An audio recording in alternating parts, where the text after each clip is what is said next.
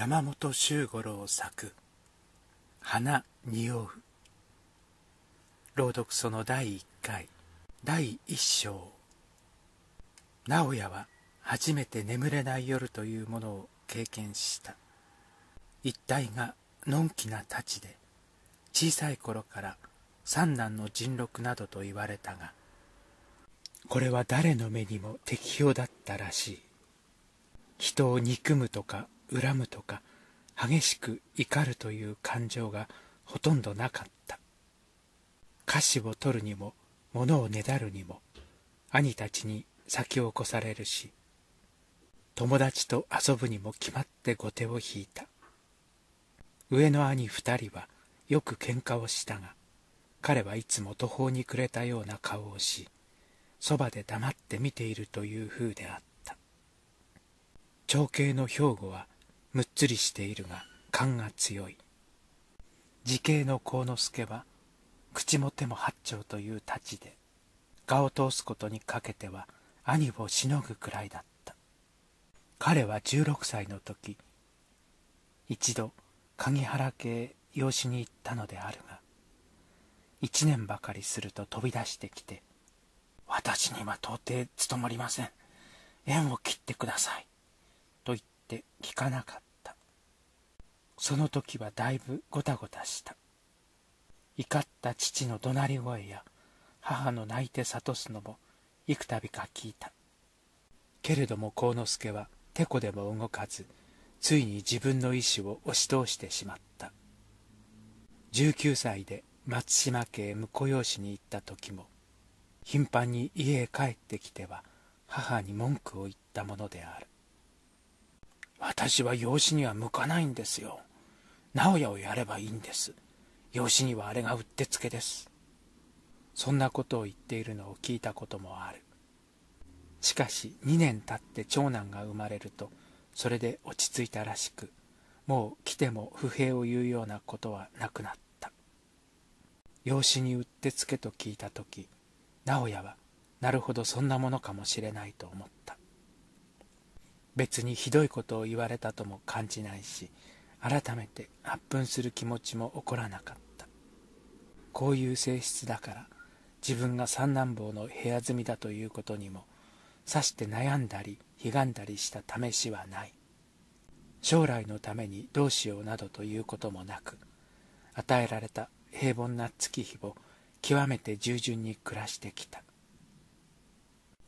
矢部慎一郎と正田達との縁談が決まったと聞かされた直後から直哉の眠れない夜が始まったのである。もちろんそう聞いた時はごく単純に喜んだ。新一郎は藩の学問所からの親友の一人で他の友達が離れてゆく中に新一郎だけは親しい往来が続いていた。去年の春父親が隠居し彼がその後を取ってオクラ奉行になってからはそれまでのように頻々と付き合うこともできなくなったがそれでもなお新一郎の方では親にも言えないようなことを打ち明けて相談するという風だったのである。正田の方は隣屋敷で立つとも幼いうちから馴染んでいた。よく笑う明るいおしゃまな子で四つ違いの直哉を弟のように扱うのを好んだ。産毛の濃い太刀なのだろう。腕にも頬にも水蜜糖のように柔らかな細かい毛が生えていて日光の具合でキラキラ光るのが直哉には珍しかった。それはいいが顎の下の喉仏にあたるところに一塊の産毛があるのはおかしかった。当人は知らないようだし彼も言いはしなかったけれども彼女が娘になってからもふと思い出すと一人で微笑させられたものである。正田とは正木の生垣一重の隣り合わせで生垣のそばに大きなみかんの木があり立つのずっと小さい頃にはその木陰でよく遊び相手をさせられたのであった。お互いに家族同士が親しいので成長してからもずっと往来していた。庭で顔があったりすると生け垣を中にしばらく話すのが例である。新一郎が田津を知ったのも直哉を介してのことで二度か三度一緒に話す機会がありそれから今度の話になったものである。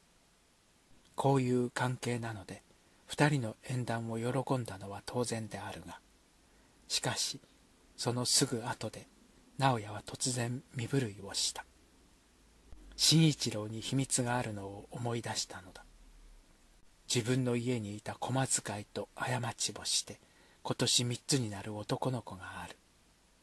その女は吉田村というところのかなりな農家の娘で身ごもるとすぐに家へ帰り子を産んでからもずっとそこにいる。今でも矢部の家から決まった養育料が届けられるのを直哉は知っていたのである。眠れない夜の時間に直哉は繰り返しそのことを考え続けた。結婚してからその事実を知ったらタズはどんなに苦しい思いをするだろう。よく笑う明るい彼女の顔が悲しみのために引きつり苦しさに歪むのが見えるようである。直哉は胸に鋭い痛みを感じた。あまりにそれは残酷だ。何の咎もないタズがどうしてそんな目に遭わなければならないのか。いやいけない。それはかわいそうすぎる。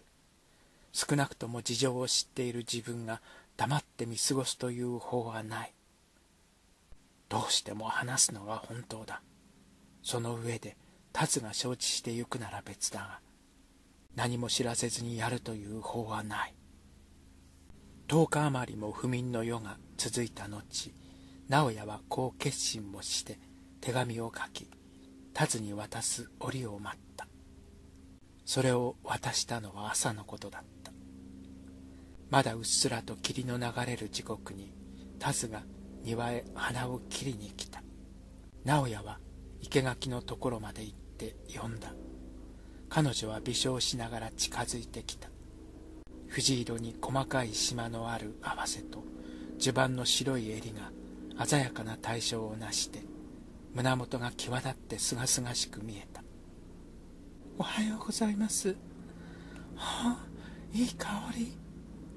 タズは微笑んだまま薪の方を見上げた。みかんがずいぶんよく匂いますこと。直哉もそっちへ目をやったみかんの木に花が咲いていた。気がつくと辺りの空気はかなり強い匂いに染まっていた。直哉は目を返した。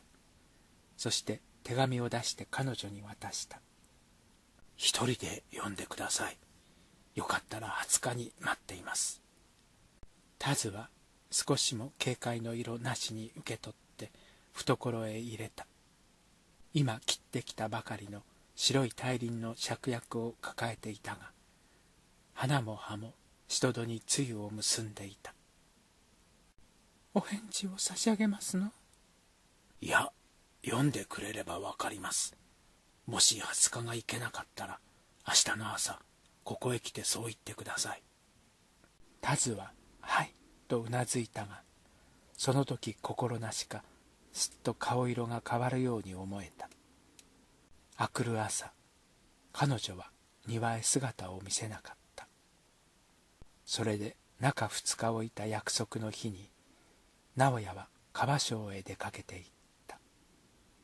川庄は千代川の河畔にある料理茶屋ではあるが先代の主人というのがお城の包丁型で何か失策があってお暇になったが殿様がその包丁ぶりを惜しまれそれとは知らせずにお手元金で料理茶屋を出してやられたと伝えられている。そのためばかりでもないだろうが客はほとんど武家に限られていた。女中もごく地味なおとなしいものを選んであるし歌い目などは決して入れないので家族連れで来る客も相当に多かった。直哉もたびたび父親に連れてこられた。正田でも同じように来て両家族がそこで一緒になることも珍しくはなかった。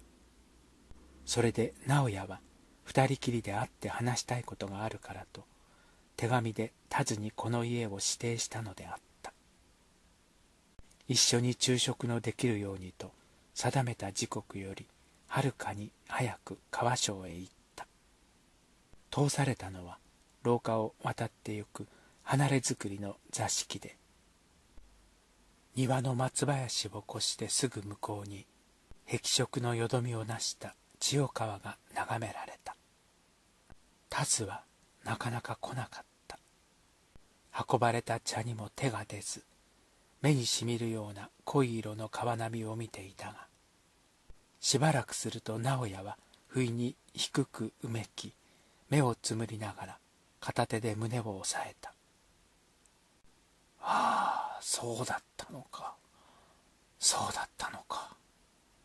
そこまで来て彼は自分の本心に気づいた。自分が達を愛していたということを。それもずっと以前から深く根強く愛していたということを。彼はぐらぐらとめまいに襲われ呼吸が詰まりそうな感じで激しくあえいだ。もういけない。話すことはできない。直哉は立ち上がり青い顔をして庭へ降りていった。松林も抜けて庭外れまで行きそこで呆然と長いこと物思いにふけった。少し気持ちが落ち着いてから座敷へ戻ろうとすると松林の向こうから田津の来るのが見えたごめん遊ばせすっかり遅くなってしまいました。田津は上目遣いにこっちを見て微笑した。ちょうど出がけにお友達が見えましたの。おかげさまで出る口実はついたのですがこんなに遅れてしまいました。彼女の方はさっと赤くなった。着付けや化粧のせいだろうか。驚くほど女らしくなり背丈まで高くなったように見える。婚約ができると娘は女らしくなる。いつかそんなことを聞いたようだ。嫉妬というのだろう。さっきとは違った鋭い苦痛のために直哉は危うくまたうめきそうになった。田津はウキウキしていた。肩をすくめて忍び笑いをしたり急に真面目な目でこちらを見つめたりした。こんなところへ一人で来るのは初めてであるがこの胸のドキドキするような気持ちも悪くはないとか。昔直哉の家族とここで一緒になった時のごくつまらない思い出をさもおかしそうに話したりした。食事が済んでから田津はにわかにしんとなった。直哉が静かに口を切った。手紙には話があるように書いたけど本当はお別れに一度食事をしたかったんですよ。それと一つだけこれまでのお付き合い外に選別の言葉を差し上げます。タズはうつむいて膝の上に手を重ねた。物に裏と表がある以上に人間にもそれぞれ日向と日陰がある。世の中そのものが複雑で難しいから人間もきれいにばかりはなかなか生きられない。厳しい詮索をすれば誰にも少しは醜い嫌な部分があるものです。それが現実だということを考えていらっしゃい。あまり美しい夢を期待すると裏切られるかもしれません。勇気を出してたとえ少しくらい嫌な事実にあっても参らないで強く幸福に生きてくださいタズは「はい」と答えてしばらくうつむいたままでいたがやがて顔を上げながらこちらを見て微笑した。現れたように鮮やかな瞳である。彼女はこう言った直哉様はいつかこうおっしゃいましたわトゲを刺したってそんなに泣くことはない。私がすぐ抜いてあげるよっておたの七つの年でございましたわ第2章。直哉が29歳の時。父と母とが愛前後して亡くなり兄の兵庫が家督をした。彼はそれを機会に母屋から出て別棟になっている住まいへ移った。それは昔足軽長屋だったものらしい。不要になって馬屋は取り壊したがそこは物置に使っていたのである。大工を入れて少し作り直し8畳と6畳に長4畳の板の間をつけた。なかなか落ち着いた住まいになった。彼はその45年前から暇に任せてフード資料を集めていた。2425になると大抵もう養子に行く望みもない。部屋住みで一生を厄介者で送らなければならない。食べることと小遣いぐらいには心配がないけれども妻をめとることもできないし人並みの世間付き合いも一応遠慮である。これでは何か気持ちを紛らせることがなければ退屈だ。自然部屋住みの者は大概何かやっている。境遇によっては内職をするものもあるし碁将棋や書画に凝るものもある。直哉は少年自分から伝説や知識を聞くのが楽しみだったので領内全部の風土資料を記録してみようと思い立った。時間はいくらでもあるから弁当持ちで出かけてその土地土地の古老を訪ねたり社寺戸籍を探ったり林草や気候や作物を調べたりしてそれを克明に記録した。長余剰の板の間に棚を作り集めた資料をそこに積んでおく。外へ出ない時は八畳の今の机で気の向くままに整理をする。諦めてみればかなり幸せな境遇だ。彼はしばしばこう思って苦笑した。田ズが矢部へ貸して一年。同じ季節の巡ってきたある日のことだ。机に向かって書いているとどこからか非常に不愉快な蚊が匂ってきた。ゴミ捨て場で物の吸えるような匂いであった。庭の方を見るとちょうど五助という老木が掃除をしていた。直哉は彼を呼んで言った。嫌な匂いがするな。その辺に汚いものでも捨ててあるんじゃないか？さようでござりますか？老木は風をかぐように顔を左右へ振り向けた。私にはみかんの花は匂いますが、その他には何にも匂わないようでござりますがな。みかんの匂い。直哉は眉をしかめた。そうだ。確かにそれはみかんの花の匂いであった。しかしそれにしてはなぜこんなに嫌な匂いなのだろう。去年までこんなことはなかった。甘く重たい感じではあるが、母親の父の思い出のような懐かしさを持っていた。それがこんなに不愉快に匂う。どうしたことだろう。直哉は立って障子を閉め、長いこと机に頬杖をついていた。矢部からは初めのうちよく正体があった。招かれないでも時々こっちから尋ねた。夫妻は心から歓待してくれるが、両親はあまり喜ばない風があった。ひがみではなく、彼のような部屋住み者の訪問は、矢部老夫婦には好ましくない客なのだ。それでいつか自然と往来が遠のいていったのである。直哉は格別不満でも不快でもなかった。矢部の家庭が平穏であり達が幸せであるならこれに越したことはない。その上彼女を失った痛手は意外に大きくて新一郎と並んだ彼女を見ることはかなりな苦痛であった。直哉は次第に孤独な静かではあるが平凡な生活に入っていった。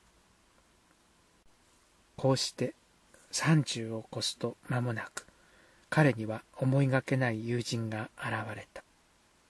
竹富半兵衛という男で学問上出るまでは矢部慎一郎や河村伝八馬場文五郎らと一緒に五人組などと呼ばれて親しく付き合った21にから皆家を継いだり養子に行ったりして役につき直哉一人拉致外に残された形であるが竹富半兵衛とは彼が江戸詰めになって以来10年近くも会わなかったのであるここの家のみかんを思い出したんでね。半兵衛はこう言いながら入ってきた。おお、なってるな。一つもいでこようか。いけないよ。あれは隣のだ。隣のって、だって昔はよくもいで食べたじゃないか。食べたって隣のさ。まあ、上がらないか。半兵衛は肥えていた。顔も凛と張り切っているし、大きな目には意が備わってきた。よく通る声で、簡潔にキビキビと物を言う。これは大変な人間になるぞと、直哉は心の中で目を見張る思いだった。昼食を一緒にした後、半兵衛は記録したフード資料を見た。何か言うかと思ったが、見終わると黙って返して、他の話に移り、5時ごろに川省へ来てくれ、と言って立ち上がった。久しぶりで一杯やろう。待っているよ。その時、竹富は100日ほど国元にいた。そして年が明けると間もなく、収納型元締めに挙げられて江戸へ去った。それが二人の友情の復活になり、同時に半兵衛の目覚ましい出世ぶりが始まった彼はほとんど2年おきに帰国し帰るたびに役を挙げられてまた江戸詰めになる。もともとそれだけの価格と背景があるのだが老職たちの信用もありそれ以上に藩主の長が熱いということだった。半兵衛は帰国すると必ず直哉を訪ねた。興味があるのかないのか一度は例の資料を出させてみる。そして江戸へ去るまではほとんど3日にあげず川省へ招いて自走してくれた。矢部とはすっかり疎遠になっていた。田津に子供が生まれないということと二度ばかり大病をしたという話を聞いた。二度目には見舞いに行ったけれどもう治った後でさして痩せもしないし元気な明るい目で笑っていた。ただ血色のいい顔がろうのようになり力のない咳をするのが痛ましく見えた。新一郎は枕元に座って丈夫そうな体のくせに案外弱いんで参るよ。今年は柏の温泉へでもやろうと思う。こう言って妻の顔を見ていた。直哉は38歳になった。あれからずっとみかんの咲く季節は不愉快で、4月の声を聞くと、ああ、またかと憂鬱になる。一体この土地はみかんの木が多いから、その時期にはどこへ行ってもその匂いは避けられない。したがって閉じこもることになり、頭の重い鬱陶しい日が続くのであった。兄の兵庫に慎太郎と松次郎という子がある上は12でおとなしいが7つになる老いが暴れん坊で直哉の住まいへ来てはそこらをかき回してゆく。うるさいけれども面白いから喜三寺に遊んでやるのだがそんな時にはそれさえ物浮くて思わず渋い顔をして追い出すことも稀ではなかった。6月になってった初旬のある日入郷の方を回って帰ると竹富半兵衛の手紙が届いていた。川省で待っている。すぐ来い。例によってズケズケした文句である。帰ったんだな。直哉は懐かしさに一人で微笑を浮かべた。23ヶ月前から今度帰国したら勘定奉行だろうという噂が高かった。おそらくそんなことに違いない。川省なら風呂があるからと思い着替えだけしてすぐに出かけた。半兵衛もちょうど風呂に入っていた。直哉が行くと彼は小浦という女中に背を流させているところだった。直哉は後ろから眺めてそのたくましく油ぎった体育に驚いた。また太ったね。確かご尊父は卒中で亡くなったんだろう？直哉はこう言いながら体を示した。気をつけるんだな。危ないよ。まあお口の悪い。とお浦が笑った。半兵衛は平然と手で腹をたたいた。何？これは酒のためさ。23日やめるとぐっと肉が落ちる。本当だぜ嘘は言わない。俺を安心させたってしようがない。そっちの問題だ。それなら文句なしさ。酒も飲まず美食もせず金券実直に暮らした矢部が渋滞で危ないというのにガキ大将のように好きなだけ暴れる俺はこの通り丈夫だ。どうせ人間は死ぬまでしか生きやしない。矢部が渋滞だって？新一郎か？もちろんさ。土地にいて知らなかったのか？老害のような病気でもうここ四五日だろうということを聞いたがね。まるで知らないことだった。直哉はすぐに田津の身を思い気持ちを塞がれた。汗を流して座敷に座ると半兵衛はすぐに「俺は辞職するよ」と意外なことを言った。だってそれはしかしどういうことなんだ？どういうことになるかわからないがとにかく少し静養して様子を見る。俺も38だからな。ここで今勘定奉行などをあてがわれてはたまらない。これが本心さ。たくましいもんだ。当たるべからずだね。もう一つゆっくり昼寝がしたくなったのも事実さ。大きく飛ぶには翼を休めなければならない。うんと飲んで食って思うさま寝るよ。勘定奉行という呼び声さえ家中の人々には戦望に値したが半兵衛はもっと大きい席を欲しているらしい。それにしてもズバッと辞職する度胸の良さなど直哉にはただ驚嘆の舌を巻くばかりであった。直哉はその夜随分酔った帰って寝たのもはっきりは覚えていない夜中に枕元の水がなくなって水屋へ汲みに起きた時ようやく我が家に寝ていることを知ったくらいである。あくる朝もなかなか目が覚めなかった。老いの松次郎が何度も外へ来て呼んだが、頭が重くて返事もできなかった。そのうちに何か手紙を見たような気がし始め、ふと枕元を見ると、盆の上に封書が置いてあった。酔いざめの水を飲むとき、目についたものだったのだろう。裏を返すと矢部打ちとある。すぐに夕べの竹飛びの話を思い出し、起き直って封を切った。それには新一郎が渋滞であること、何か内密で話したいことがあると言っているから、なるべく早く来てくださるように。あらましそういう意味のことが、多分、立つの筆だろう。ごく簡単に書いてあった。やっぱりそうだったのか。気の毒に。まだ酔いの残っている頭で何を思うともなく、彼はややしばらくぼんやりと障子を見守っていた。梅雨の帰ったように細かい雨が降っていた。兄嫁の整えてくれた見舞いの品を持って家を出たが時刻はもう10時に近い頃だった。矢部の玄関へ立って訪れるとすぐに達が出てきた。直哉を見ると彼女は赤く泣き晴らした目を伏せていった。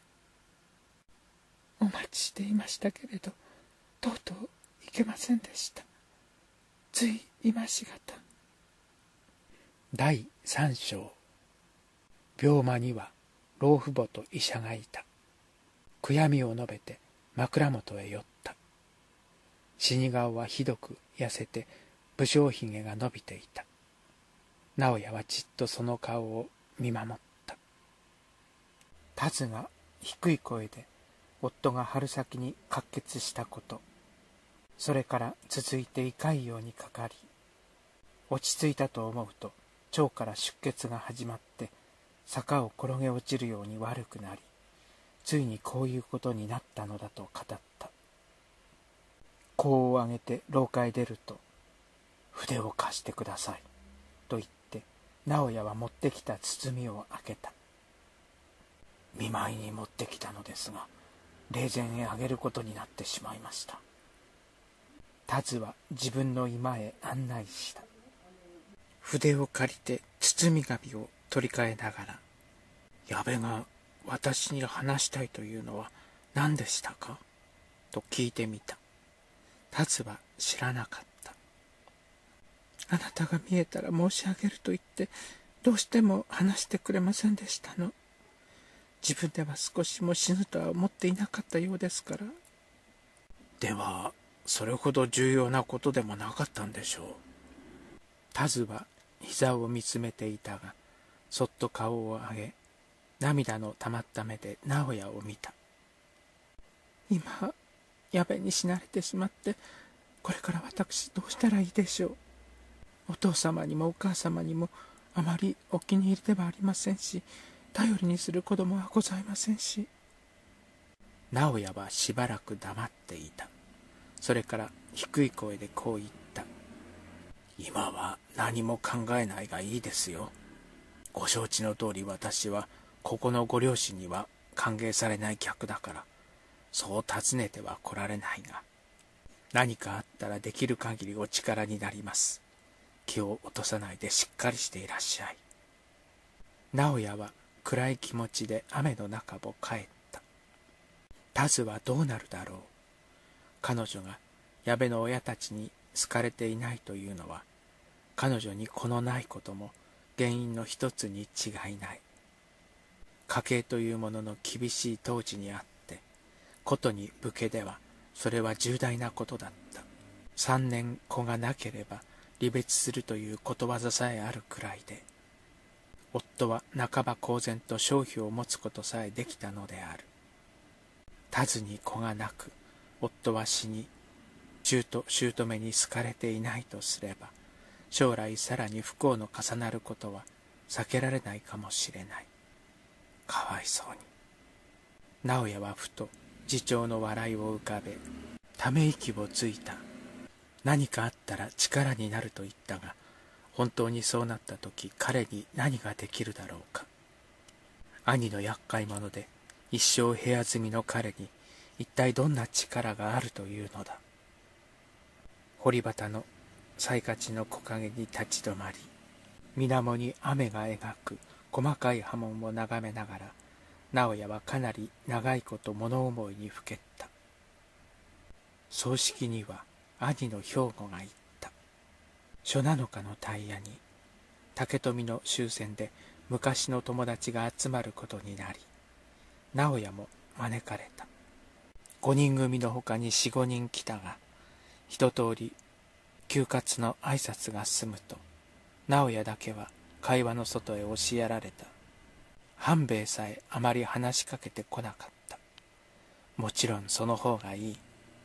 直哉は黙って彼らの話すのを眺めていた。中心はやっぱり半兵衛だった。そう並べてみると風格もずば抜けている。キパキパと霧工場に言葉少なで「そう」とか「いや結構」などという受け答えに羨ましいほど際立った貫禄が見えた。大した人間になった。直哉はこうつぶやいて微笑した。半兵衛が職を辞したのはその数日後のことであった。川庄で人を集めては派手に飲むとか昼間はぐうぐう寝ているとか千代川で子供たちと泳ぐとか京町の花町で流連しているとかいろいろな噂が耳に入る。直哉はそういう噂の陰に半兵衛の皮肉な微笑を見る気持ちでせっせとまた資料集めに歩き始めた。けれどもその頃から彼はふとすると憂鬱な考えにとらわれることが多くなった。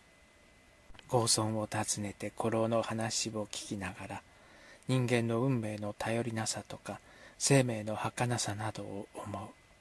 歩いていて木の葉の散る様を見る。黄ばんだ葉が枝を離れる瞬間に人間の断末魔の叫びを聞くように思う。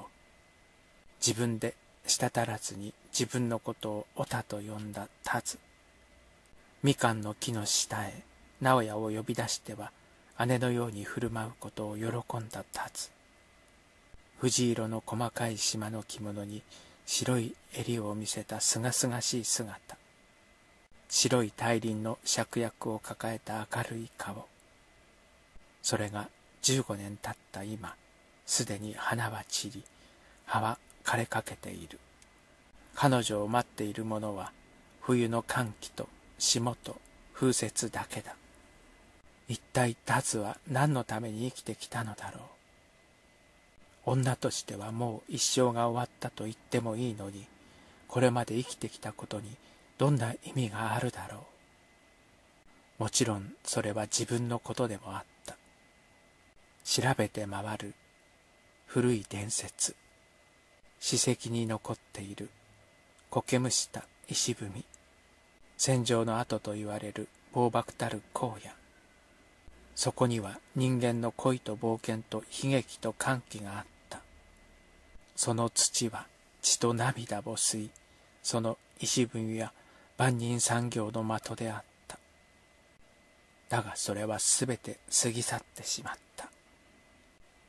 石踏みの文字は苔に蝕まれて消え戦場の後は畑になってしまうだろう。あまりに分かりきったことだ。どんなに偉大な自責も過ぎ去ってみれば野杖の煙に等しい。確かなことは絶えず時間が経過しているという事実だけだ。それは瀬沼直哉が三男の部屋住みで38になるまで満足に優等の味も知らないからさ。半兵衛は冷やかすように笑った。もし直哉が過労にでもなればまるっきり別のことを考える。多分そうだろう。しかし俺の考えが変わってもその事実は変化しやしないよ。それがどうしたと言うんだ。何もかも消滅することに不思議はないじゃないか。もともと人間のすることに意義なんかありゃしない。土百姓のせがれが太閤になったって何がしの上皇が孤島優秀の終わりを遂げられたって結果としては単にそれだけのことだ。人間全体の運命にも無関係だし意義も意味もありはしない。何かがあるとすれば生きている間のことさ。いかによく生きるかどう生きるか。問題はそれだけしかないよ。俗論は響きの強いものだ。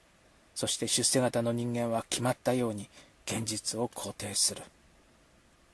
悲観論者が病人か貧乏人に決まっているのと一般さ。どっちみち人間は利口じゃない。9月になって矢部の百日期が来た。その日直哉は宗太寺の墓地で田津に会った。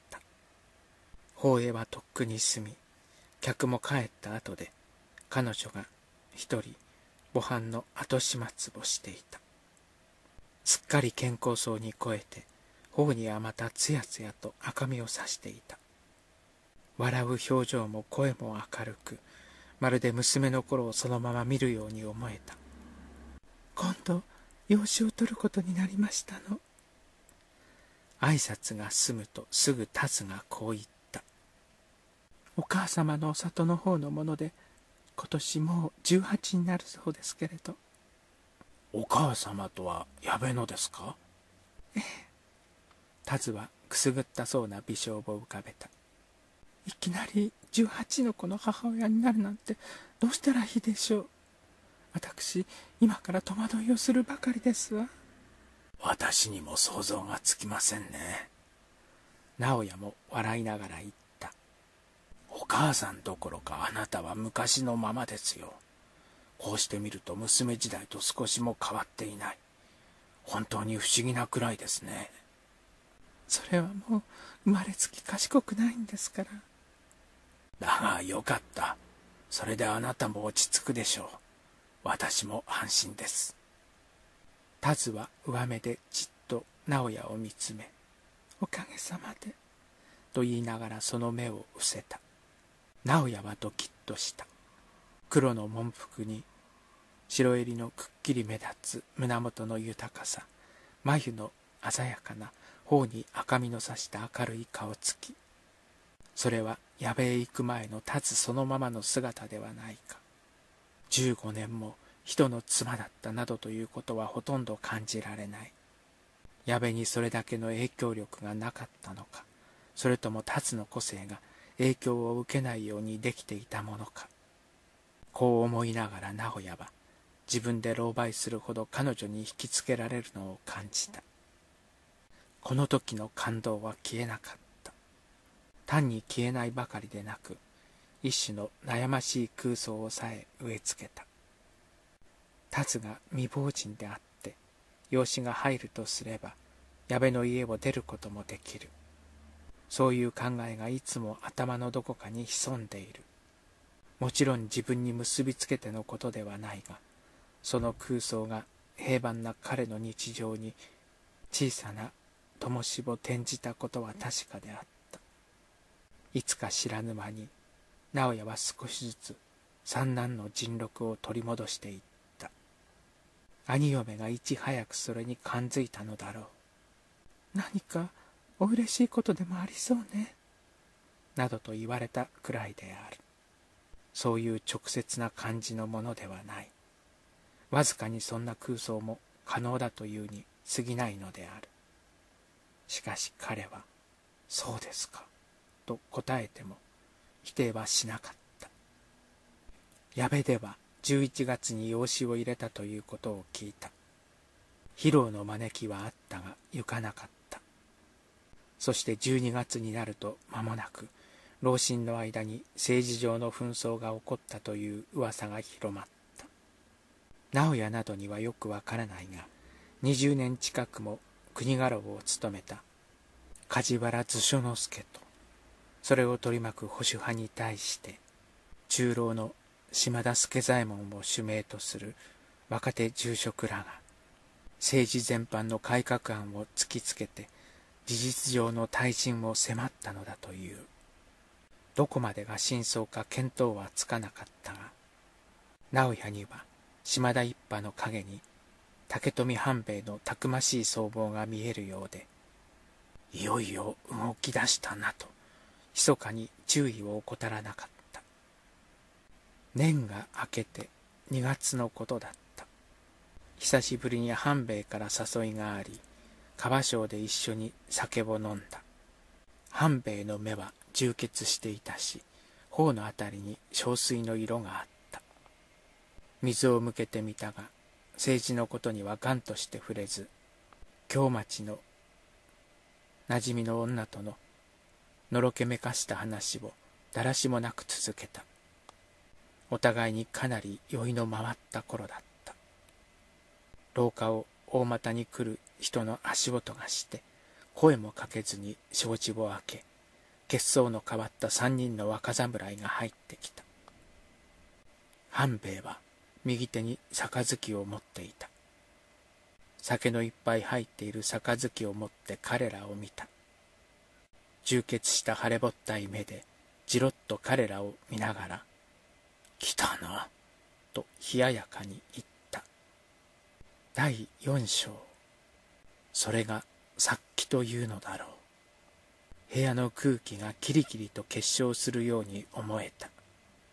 三人のうち左の端にいた青年が半兵衛の「来たな」という声に応じて刀を抜いた。真面目だな。よかろう。半兵衛はキパキパと言った。お前たちの年頃には俺にも覚えのあることだ。ただし一言聞くが自分の信念だろうな。強さされてきたんじゃないだろうな。直哉はその瞬間に勝負がついたと思った。半兵衛は酒をあおり例のよどみのない霧工場で畳みかけた。紛争が自分に不利だと見て相手も生かしておけないと思ったら自分でやるのが当然だ。矢部さんの立場に俺がいたら俺は自分でここへ来る。決して他人を使うようなことはしないぜ。これでおしまいだ。遠慮なくやれ。刀を抜いた青年は唇を噛んだ。しかしさっきはすでに去っていた。彼は叫んだ竹富さん手を引きなさい。それがあなたの身のためです。俺は藩の将来を思っている。政治の正しい改革を思っている。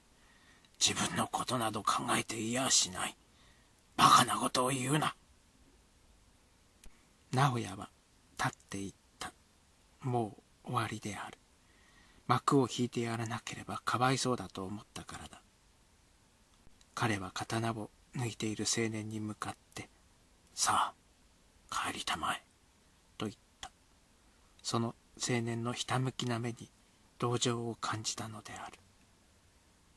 今日はこれで帰ってよく考えてみたまえ。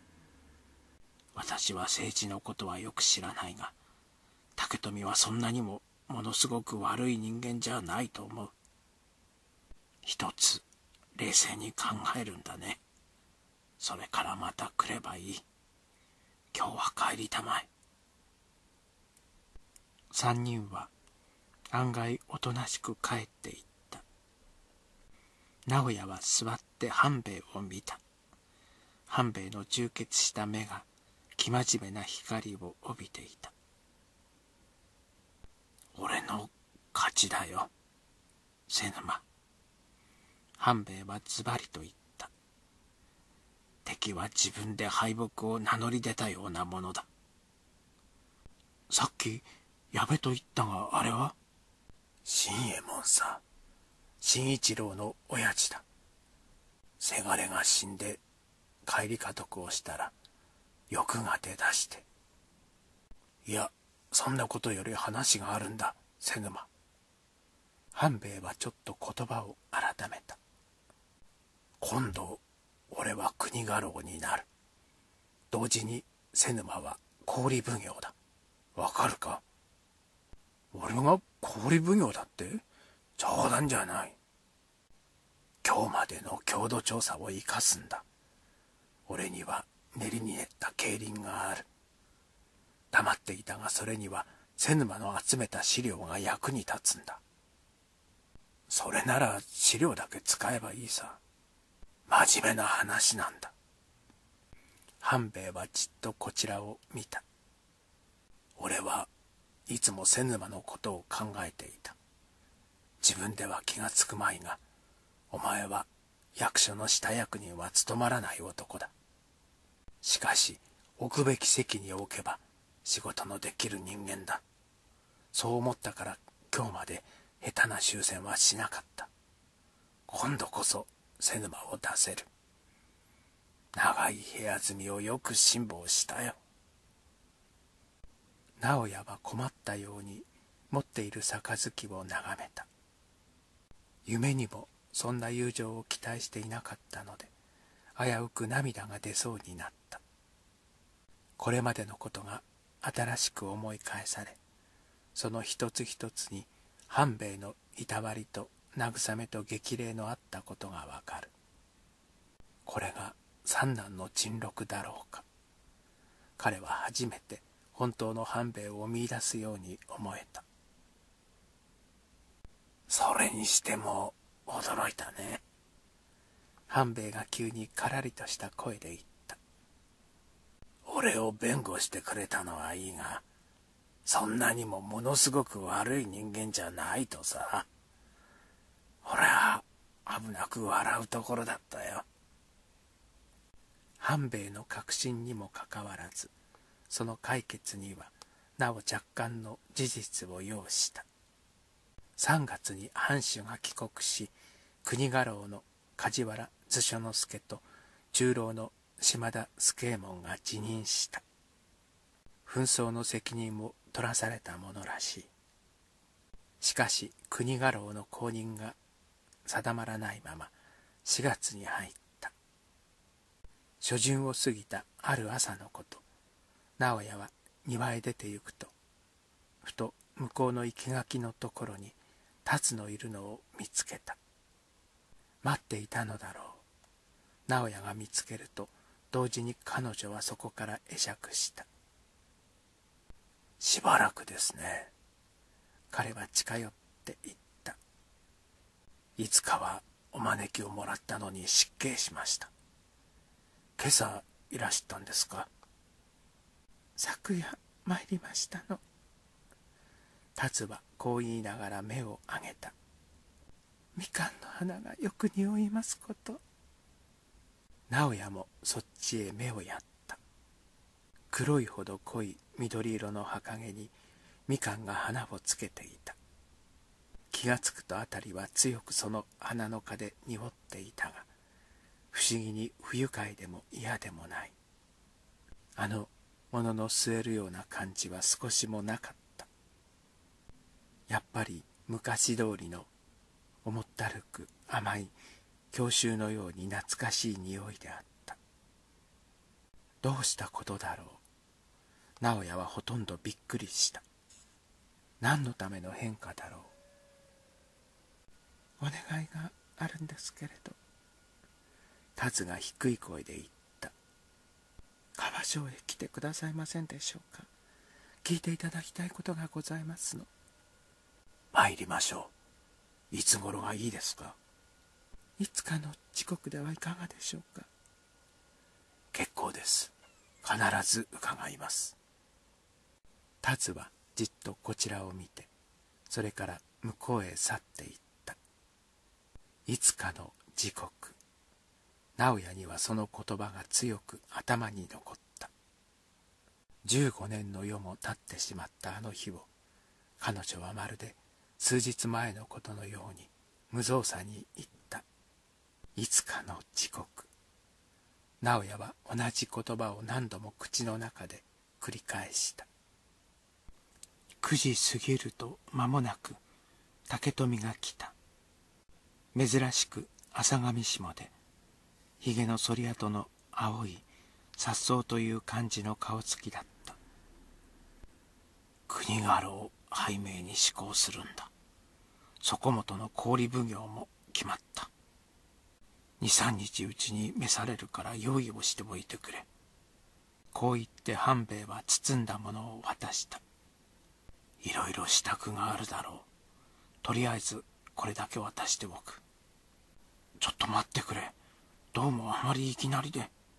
いきなりということがあるか。二月も前に予告してある。じゃあ頼むぞ。半兵衛はさっさと言ってしまった。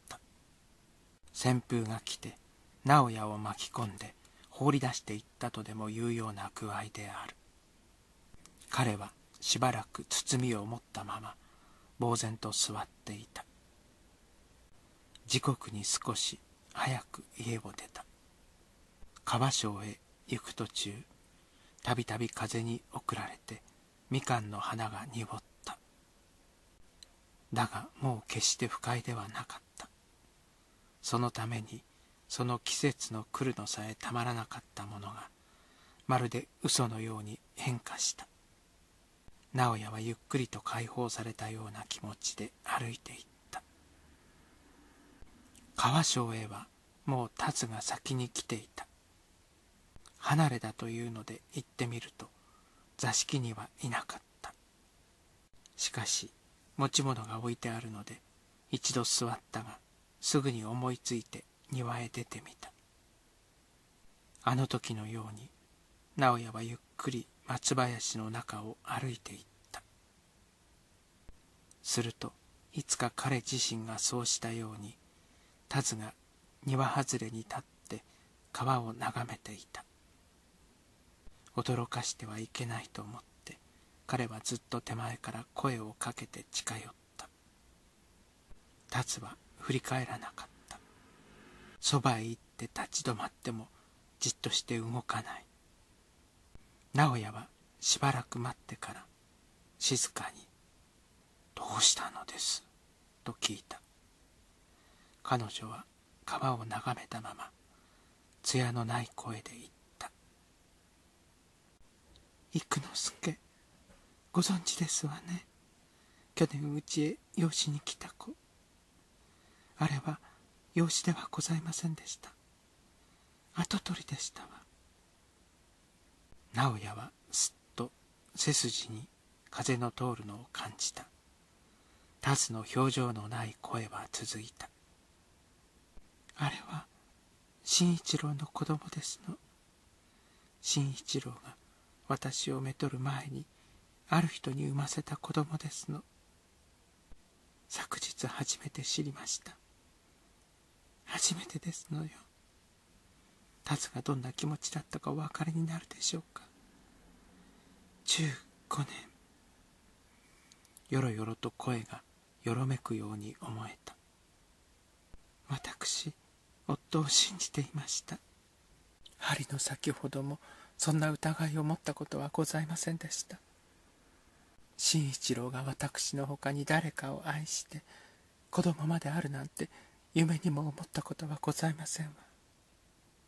それが今になって直哉様人間にはこんなにも人を欺くことができるものでしょうか。